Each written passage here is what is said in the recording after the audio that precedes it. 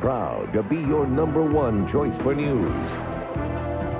This is KAMC News 28 at noon.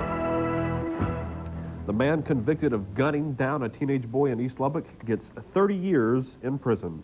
Good afternoon, I'm Greg McAllister. I'm Meredith McAllister. Thanks for joining us.